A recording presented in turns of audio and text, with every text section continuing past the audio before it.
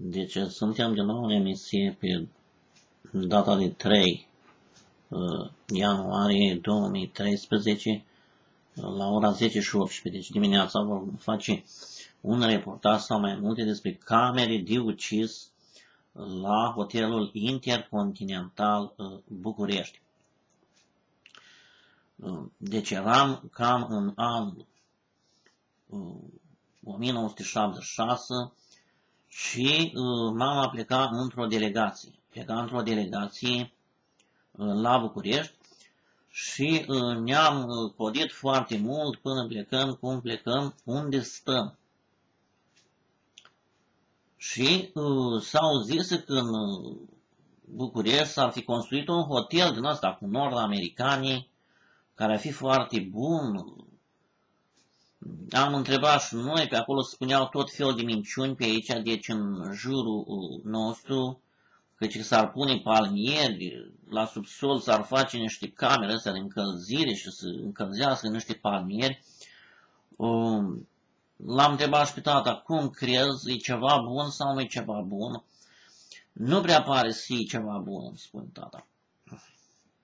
Dar de ce nu, nu pot să-mi dau seama mai ales dacă are palmier, dar nu avea palmier, deci deja minciunile erau în, în masă.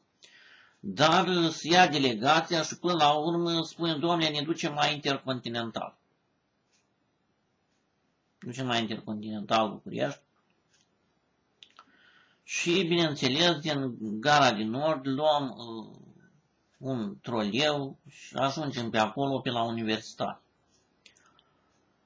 Ce se întâmplă acolo? Deci ajungem la recepție, dintr-o dată la recepție era o decepție.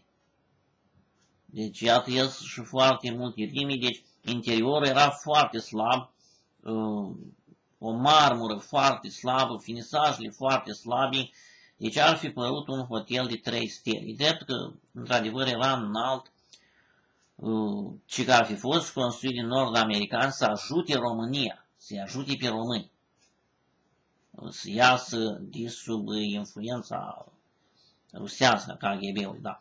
Totuși eram în 76.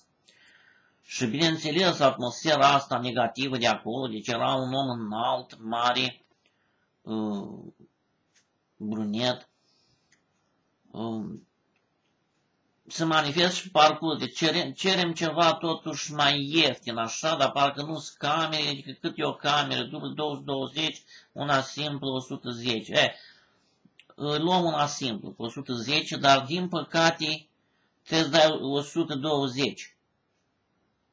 Și ajungem, uh, ajungem, luăm liftul și ajungem uh, la etajul 20.